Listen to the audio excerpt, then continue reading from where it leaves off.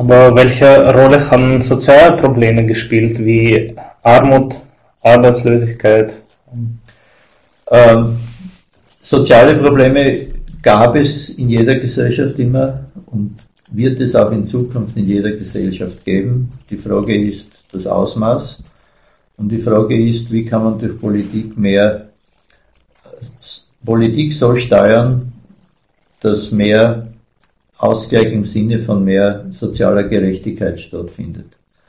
Wir erleben momentan äh, eine wenig zufriedenstellende Phase, weil wir zwar einen, Gott sei Dank, noch relativ breiten Mittelstand haben, aber da bröckelt es an den Rändern auch etwas, dass wir ein zunehmendes Armutspotenzial haben und dass wir ein zunehmendes echtes Reichenpotenzial haben.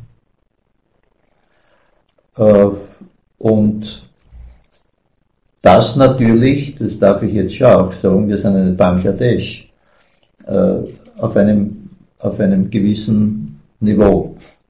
Also, äh, wenn ich, wenn ich, wenn ich einen, für Österreich jetzt einen kleinen Vergleich anstelle, wenn ich an, an, die, an, an die Bundesrepublik Deutschland denke, wo, wo dieses Hartz-IV-Abkommen den Leuten weniger Geld bringt, wie bei uns die Mindestsicherung, und das also in einer der reichsten Volkswirtschaften der Welt, dann stimmt dort die, die, die, die soziale Balance noch viel weniger wie bei uns. Und äh, bei der Arbeitslosigkeit ist so, dass wir hier in den, in den 70er und 80er Jahren weniger Probleme hatten. Auf der einen Seite wie jetzt. Allerdings in den 70er Jahren noch war die Landwirtschaft stärker wir hatten ein Beschäftigungspotenzial in der österreichischen Landwirtschaft von etwa 18 bis 20 Prozent der Menschen, die gearbeitet haben, waren in der Landwirtschaft tätig. Heute sind es knapp 4 Prozent. Die sind ja alle in die Ballungszentren gegangen. Und das Paradoxon ist, wir haben jetzt den höchsten Beschäftigungsstand, in der, der in der Republik je war, jetzt mit äh, 3,3 Millionen Beschäftigte, äh, zugleich aber eine besorgniserregende Arbeitslosigkeit, äh, die uns ja die Arbeitsmarktförderung immer wieder schildert, äh, jetzt von 340, 350.000 Menschen, ohne jene gerechnet, die in Schulungen sind. Also de facto fast 400.000. Äh, der Unterschied wenn ich jetzt das noch sagen darf, zur ersten Republik, also in den schrecklichen 30er Jahren, ist der, dass die Menschen, die damals arbeitslos waren, ausgesteuert wurden, nichts bekommen haben. Heute bekommen sie wenigstens sozusagen dieses Mindestmaß an, an Absicherung wie mit der, mit, mit der Mindestsicherung und der Mindestpension, die jetzt äh, mit 1. Jänner 2000 14 angehoben wird, nur für die, die, die Lebenssehnsüchte und für die Lebensbedingungen, die die Menschen gerne haben möchten, ist es natürlich auch zu wenig, weil auf der anderen Seite die Mieten steigen, die Energiekosten steigen und unterm Strich viele, viele Leute da weiß ich, von was ich rede, weil ich mache seit zehn Jahren ehrenamtlich diese Sprechstunden da in der Woche. Oft in der letzten Woche eines Monats kein Geld mehr haben, um einkaufen zu gehen. Und, äh, also das, das ist sozusagen die Entwicklung von, von oft scheinbaren Gegensätzen. Nicht? Äh, ich mein, und es ist, es ist ein Wahnsinn, was sich da in vielen Ländern Europas derzeit abspielt. Nicht? Also bis zu 50 Prozent Arbeitslosigkeit, vor allem Jugendarbeitslosigkeit. Aber wir, wir sollen da nicht zu stolz sein darauf, dass wir die Besten in Europa auf dem Gebiet sind, sondern sollten sagen, wenn man genau hinschaut, junge Leute müssen so viel lernen. Ähm, also Matura allein genügt oft schon nicht mehr. Äh, Matura mit Beruf wäre besser.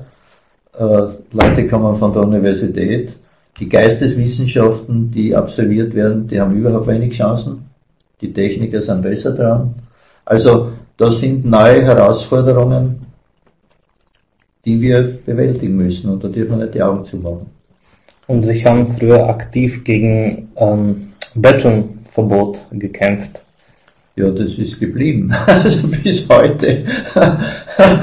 ähm, ich habe, äh, ich habe ja eine, eine äh, Verordnung äh, äh, im, im Gemeinderat dazu hat der Bürgermeister die Zuständigkeit, die Kompetenz über die Magistratsdirektion.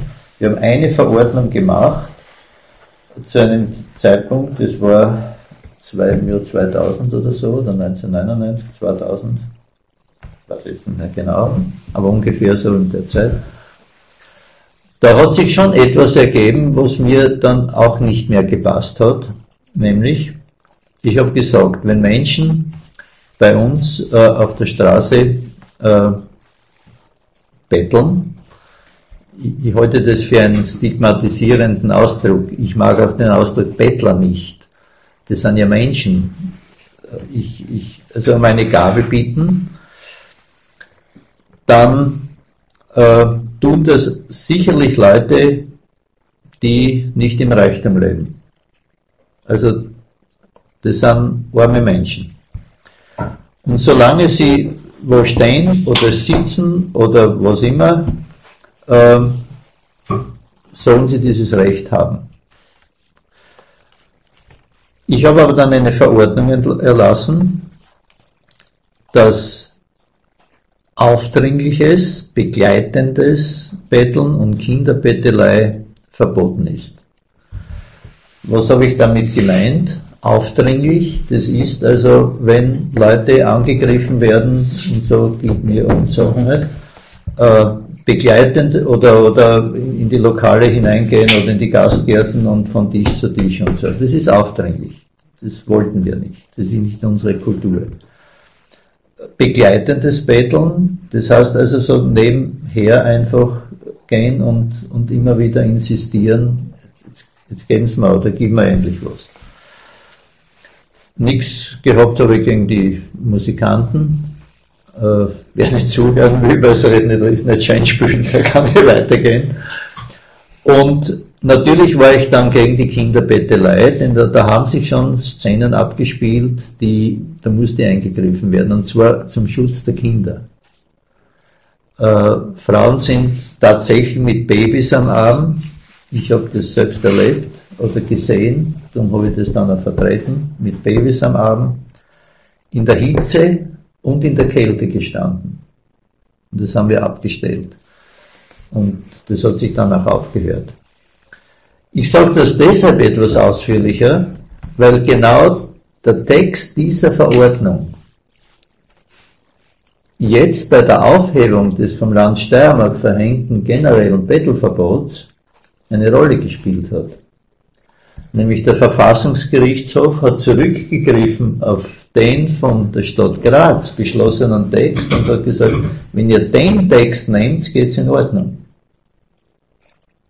Also keine generelle, kein generelles Bettelverbot, sondern nur mit diesen Einschränkungen dürfen die Leute um eine Gabe bieten.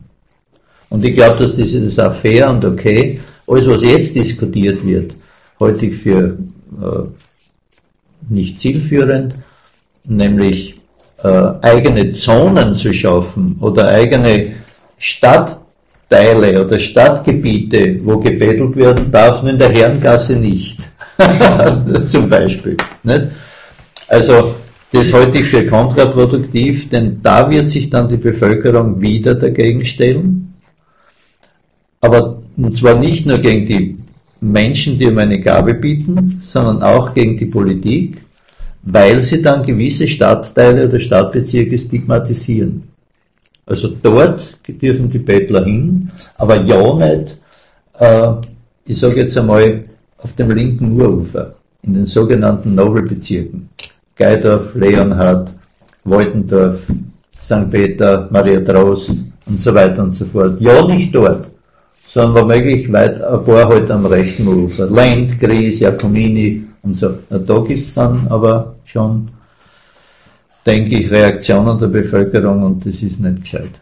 Aber warum? Es war ein Problem in, in Graz. Überhaupt keines. Ich war mit der Polizei immer im Kontakt. Es gibt keine, äh, keine äh, gesetzeswidrigen Handlungen von Bettlerinnen und Bettlern. Es gibt keine Gewalt, es hat niemand was gestohlen, äh, es, es, sie sind da gewesen. Und der Wolfgang Bucher, der ein Freund von mir ist, äh, von St. Vinzenz, der hat schon recht. Der, die, also manche Medien, eh fast die meisten, sehen darin äh, sozusagen eine Funktion, die Bevölkerung vor Bettlern auch medial zu schützen.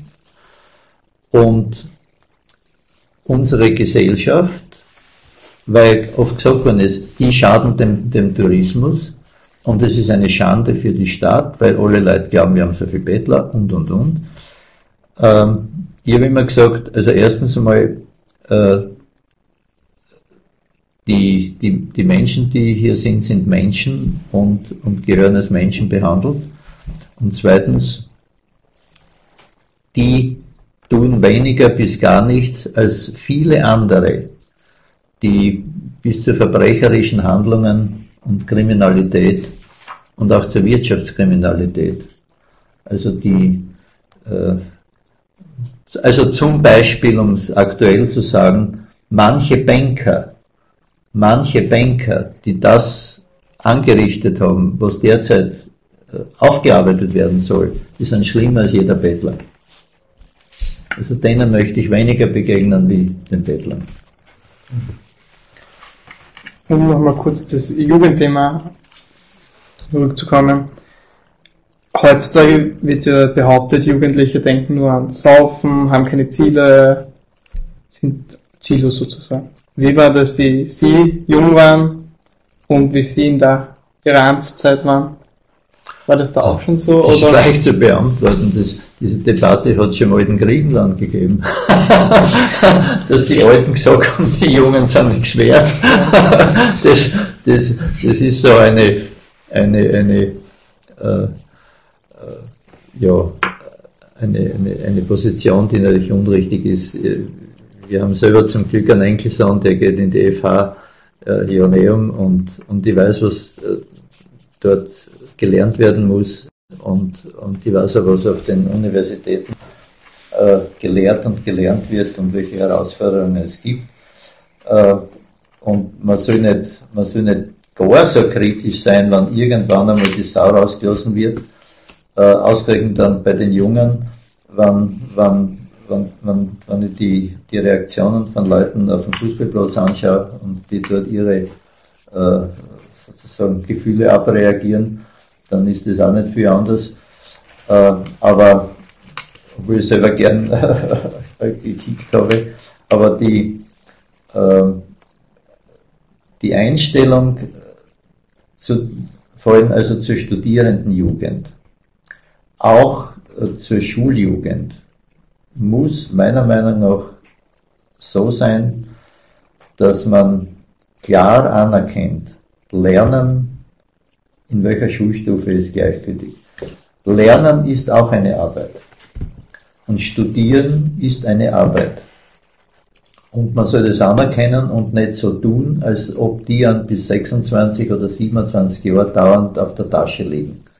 Äh, auf der Tasche des Staates, auf der, und so weiter. Äh, man darf nicht vergessen, da, da, da, da kommt eine, eine junge Generation, die wenige Jahre später ein großes Stück Verantwortung für das ganze Land trägt und damit also auch äh, für die ältere Generation. Äh, mich ärgert immer, ich bin selber nicht mehr jung, ich werde nächstes Jahr 75 Jahre, äh, mich ärgert immer wieder, wenn äh, sozusagen meine Generation herumjammert, dass die, die, die Jungen einen anderen Lebensstil haben und und und. Wir haben auch einen anderen Lebensstil gehabt. Zum Teil ist es nur zeitlich begrenzt. Vom Beginn der Pubertät bis zu einer gewissen wachsenden Ernsthaftigkeit der Lebensabläufe, bis zur eigenen jungen Familie und so weiter. Also das sind ganz normale, offenbar äh, Prozesse zwischen den Generationen und man sollte nicht überbewerten. Was natürlich nicht geht, das ist, dass man dauerhaft in irgendwelchen Gegenden Lärmterror und, und, und alles Mögliche, weil dort wohnen auch Leute. Äh, da gibt es dieses ungelöste Problem unseres Univiertels.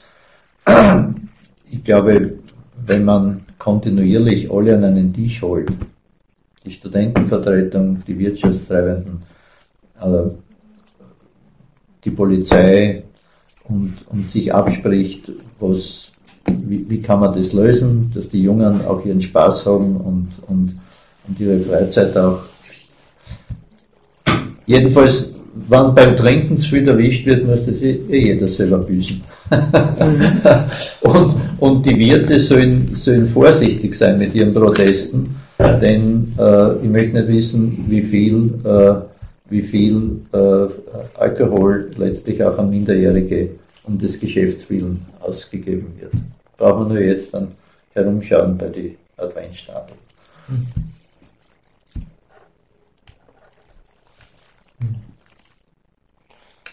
Ähm, ja, zum Beispiel jetzt bei meinen Großeltern ist so, die haben jetzt nicht wirklich viele technische Geräte, außer das Handy. Ähm, wie war es dann eigentlich so? Weil in der Zeit 80er, 90er Jahre viele technische Revolutionen. Ähm, äh, wie hat sich das aufs Leben da ausgewirkt und auch auf die Politik und die und benutzen Sie selbst auch das Internet oder Computer und ja. Naja, natürlich die Computerisierung der Gesellschaft hat schon stattgefunden. Mhm. Äh, ich persönlich habe ein bisschen ein zwiespältiges Verhältnis zu diesem Prozess. Äh, da hängt, das hängt auch mit meinem Beruf zusammen, ich gebe das zu. Ähm, ich glaube, ein gewisser Kulturstandard unserer Gesellschaft ist durch die neuen Technologien, äh, ist durch die neuen äh, Technologien gefährdet. Weil Menschen nicht einmal mehr Ansichtskarten schreiben können. Äh, wenn Menschen keinen Brief schreiben können. Wenn es Seminare des AMS geben muss für Bewerbungsschreiben. Da ist noch gar nichts gesagt äh, nicht nur von der Form her, sondern wie schlecht sie Deutsch können. Der Computer korrigiert auch, korrigiert auch Rundschreiben, Briefe, äh, Erlässe, alles korrigiert er. Und äh, wenn Menschen glauben, dass also äh, die E-Mail-Gesellschaft äh, glücklicher macht, nur weil alles schneller geht, auch bequemer, muss man zugeben. Aber auf der anderen Seite äh, gibt es, gibt es äh, die Gefahr des Kulturverlusts des Buches, mhm. wenngleich uns die Buchhändler immer wieder sagen, sie machen mehr und mehr Umsätze. Das ist nämlich eine interessante Sache. Ne? Aber ähm, ich glaube, es, es braucht halt wie in fast allem im menschlichen Leben der Balance. Dort, wo es also um, um, um die Geschäftsbeziehungen geht, wo es, wo es um Schnelligkeit der Information geht und so weiter, ist das alles, was es jetzt gibt, eh nicht mehr rückgängig machbar. Aber was sich zum Beispiel bei der Kommunikation Mensch gegen Mensch abspielt, über Twitter und Facebook und, und, und.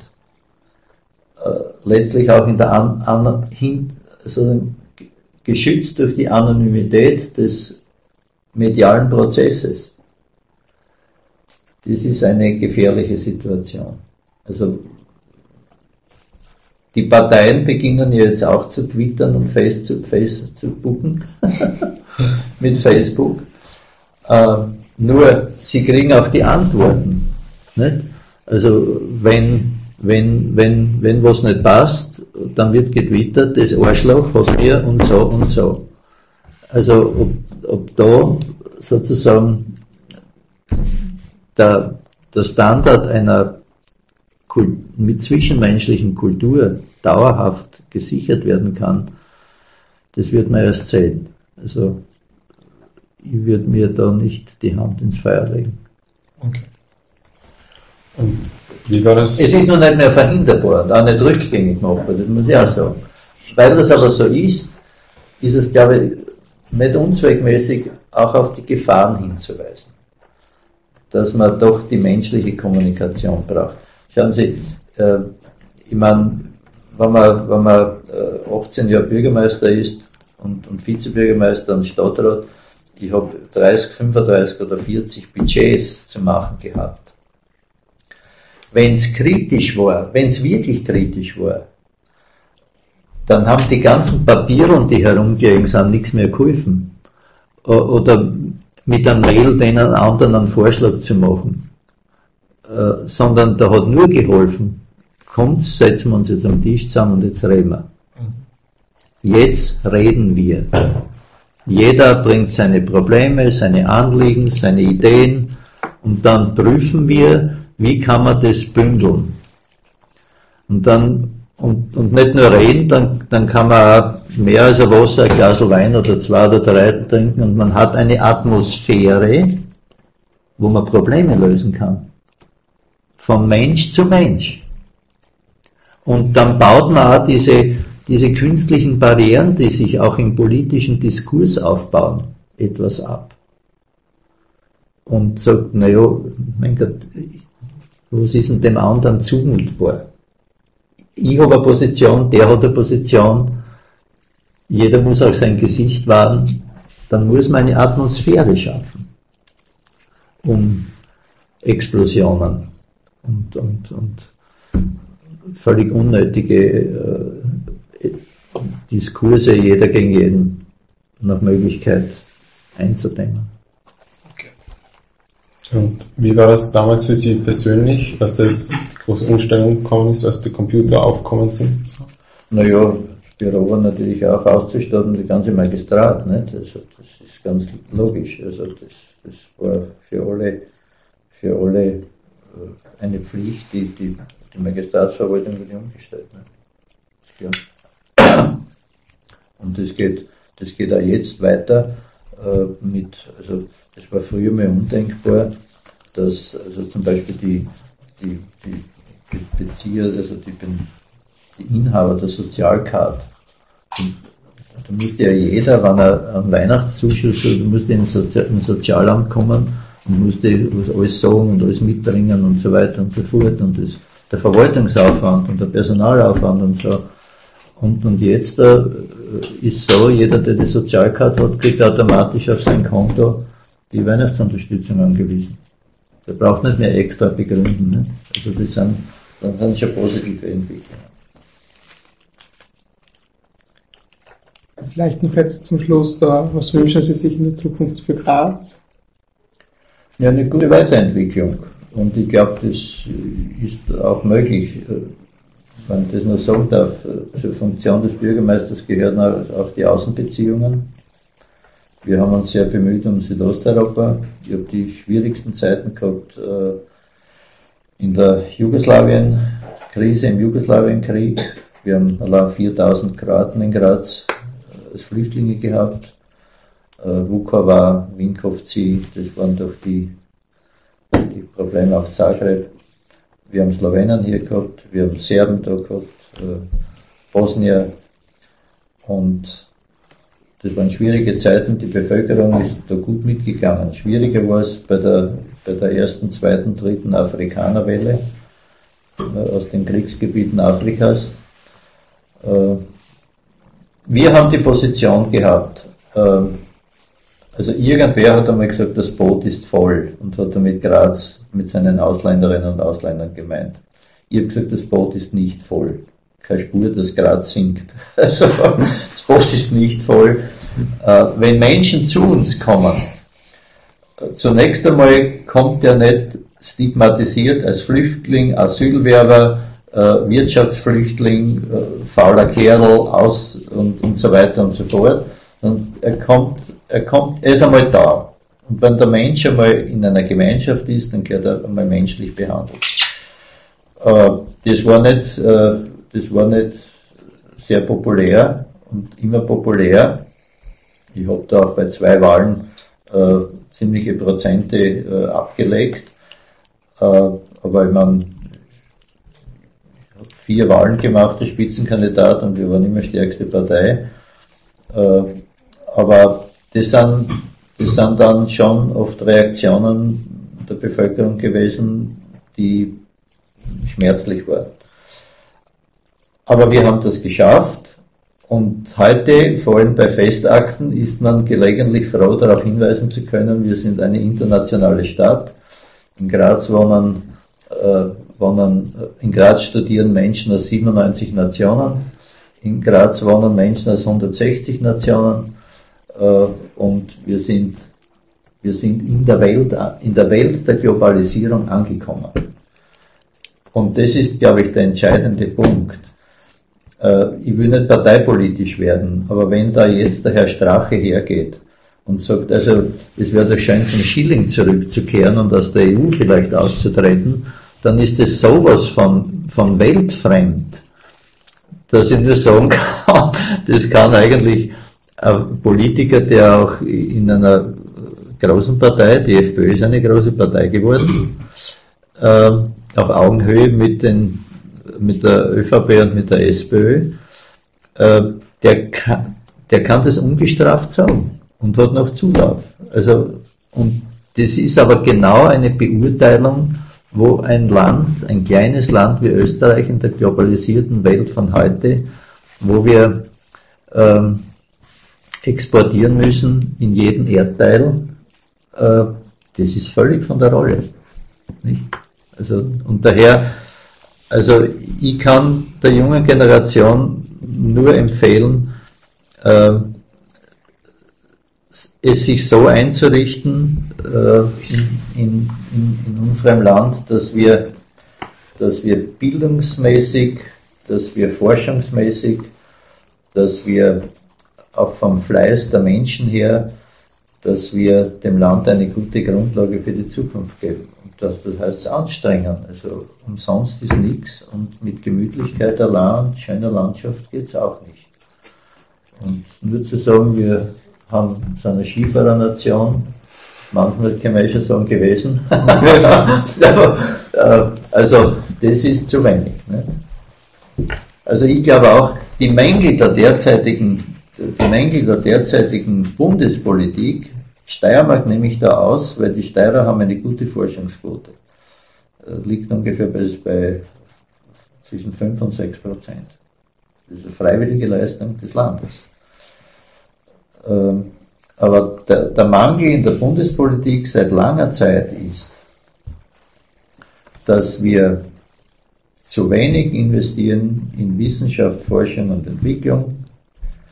Das weiß jeder, das sagt jeder, und es tut nicht, es, es, es geschieht das nicht ausreichend.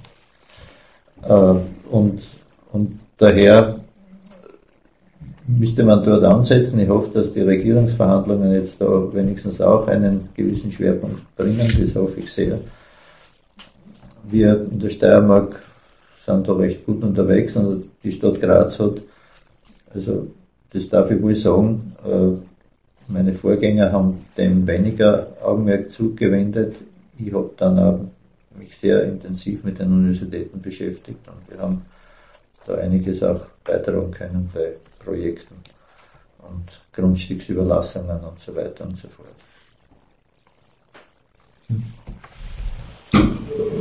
Ja, ich danke ganz herzlich für das Gespräch. Es war ja noch eine Frage, ob die Politik Sie heute noch sozusagen interessiert. Ich glaube, die Antwort haben Sie jetzt sehr gegeben. Äh, Sie denken, wann die Budgetziffern weiß ich nicht mehr so ja. genau. Aber sonst. Dieses, dieses, Wissen und dieses uh, Up-to-Date-Sein, ich denke mal, das ist was, was, also was ich manchmal auch bei aktuellen Politikern und Politikerinnen nicht immer so uh, also sehe, dass sie so sattelfest bei allen Themen sind. Ja, danke auch euch äh, für die Fragen. Ja, ich bedanke mich fürs Gespräch und wünsche euch für die Matura alles Gute. Dankeschön. Dankeschön. Ja, dann verabschieden wir uns von unseren Zugeschalteten. Ähm, und ja, eine Frage haben wir noch untergebracht, auch von den Fragen, die gekommen sind. Und dann bis zum nächsten Mal.